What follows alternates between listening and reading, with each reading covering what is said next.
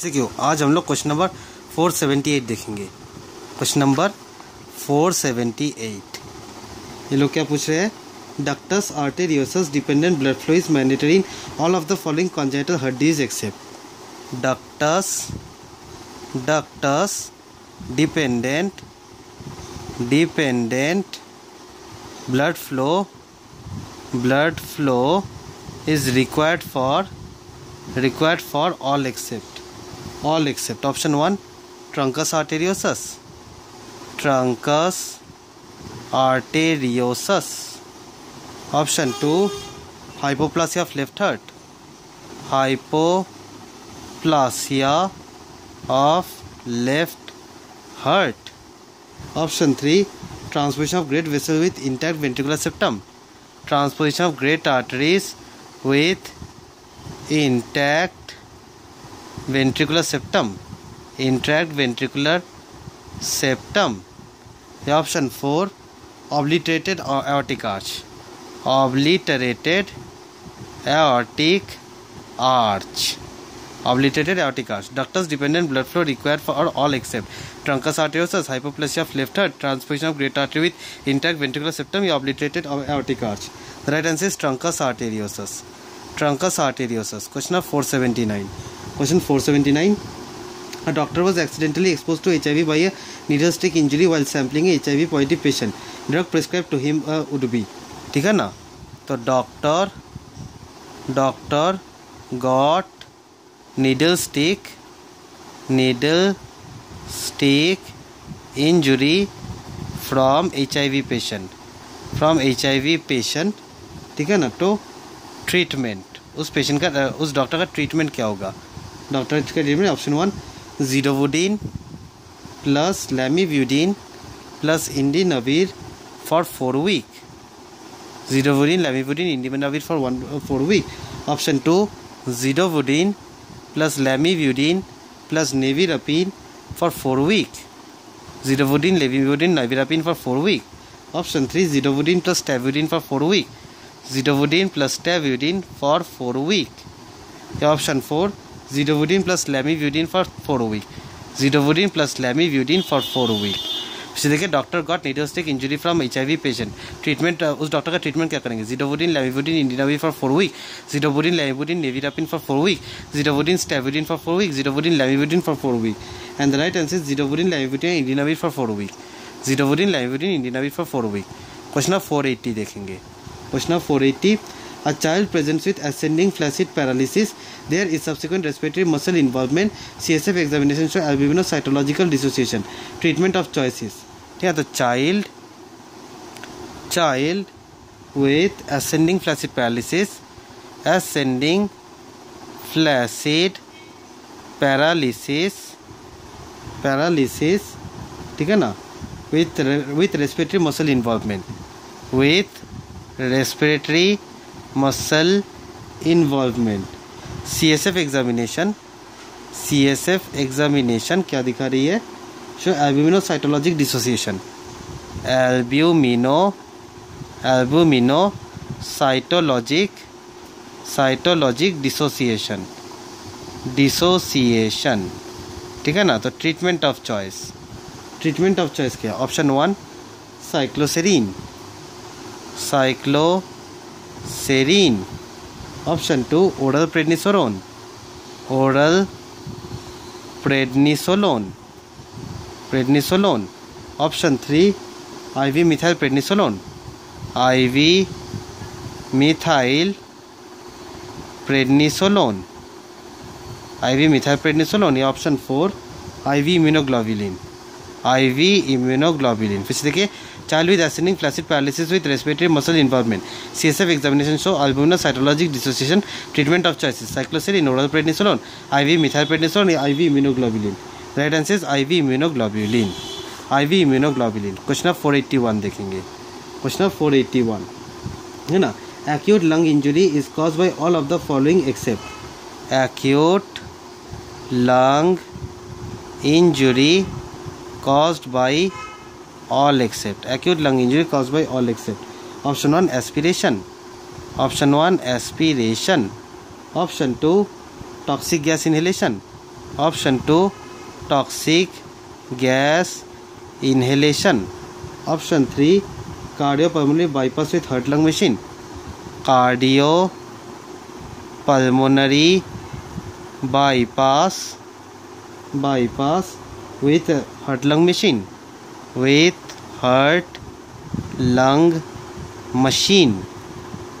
option 4 lung contusion lung contusion फिर से देखिए acute lung injuries cause by all except aspiration toxic gas inhalation cardio pulmonary bypass with heart lung machine या lung contusion the right answer is cardio pulmonary bypass with heart lung machine ठीक है ना question four eighty two देखेंगे question four eighty two In old patients, the best indicator of probability of developing cardiovascular disease can be calculated by in old patient in old patient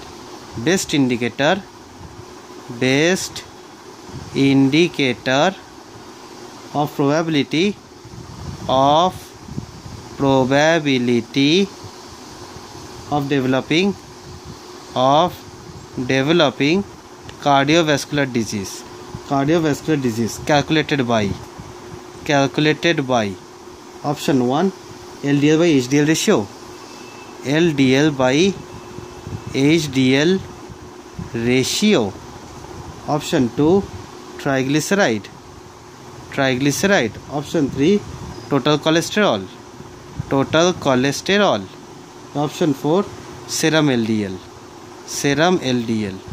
देखिए in old patient best indicator for probability of developing cardiovascular disease calculated by L D L H ratio triglyceride total cholesterol या serum L D L answer is LDL by HDL ratio LDL by HDL ratio by HDL question 483 देखिए question number 483 ठीक है ना in an old patient best in एक minute for comparison grading of pain the scale used is for comparison for comparison grading grading of pain of pain the scale used is the scale used is option 1 phase scale option 1 phase scale option 2 cheops option 2 cheops option 3 numerical chart option three numerical chart option four visual scale option two option four visual scale देखिए for comparison grading of pain pain the scale use is face scale CHEOPS numerical chart visual scale is visual scale the right answer is visual scale question of four eighty four question of four eighty four देखेंगे a 7 year girl parent gave history of fever for which she was treated with paracetamol following which she, the fever subsided. Later she developed seizures and altered sensorium. The urine examination revealed oxalate crystals on microscopy, blood anion gap and osmolality were increased. The diagnosis is the 7 year girl 7 year girl parent gave history of fever for which she was treated. Had fever had fever treated with treated with paracetamol. ठीक है later she develop seizure and alter sensorium later had seizure seizure and altered sensorium and altered sensorium altered sensorium urine examination reveal oxalate crystal in microscopy urine examination में क्या मिल रहा है oxalate crystals oxalate crystals मिल रही है ठीक है blood anion gap and osmolality are increase blood anion gap is increase and serum osmolarity is also increase diagnosis क्या है डायग्नोसिस क्या option one lactic acidosis option one lactic acidosis option two ethylene glycol option two ethylene glycol option three renal tubular acidosis option 3 renal tubular acidosis या option 4 paracetamol poisoning option 4 paracetamol poisoning फिर से देखिए seven year girl had fever treated with paracetamol later had seizure and altered sensorium urine examination show oxalate crystal blood anion gap is increase serum osmolality is increase diagnosis क्या है lactic acidosis ethylene glycol renal tubular acidosis paracetamol poisoning right answer is ethylene glycol right answer is ethylene glycol question number 484 पूछ रहे हैं question number four eighty four के Ramesh forty year male patient presented with polyuria pain abdomen nausea vomiting alter sensorium was found to have bronchogenic carcinoma number the electrolyte abnormality seen in he must be तो forty year male forty year male ठीक है ना with polyuria with polyuria abdominal pain abdominal pain ठीक है nausea nausea vomiting vomiting altered sensorium altered sensorium ठीक है ना was found to have bronchogenic carcinoma diagnosis was bronchogenic carcinoma bronchogenic carcinoma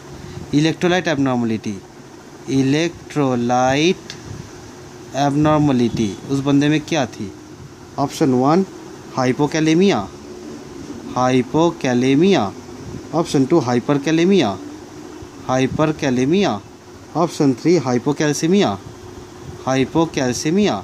Option 4, hypercalcemia. Hypercalcemia. 40-year male with polyuria, abdominal pain, nausea, vomiting, altered sensorium. Diagnosis: bronchogenic carcinoma, electrolyte abnormality is hypokalemia, hyperkalemia, hypocalcemia, hypercalcemia. The right answer is hypercalcemia. Hypercalcaemia question number four eighty five देखेंगे जब four eighty five a patient present with jaundice the हिडस scan would be most useful for which of the following तो patient with jaundice patient with jaundice ठीक है ना इसमें बोल रहे हिडा scan हिडा scan ठीक है ना most useful for most useful for option one biliary atresia biliary atresia option two cholelithiasis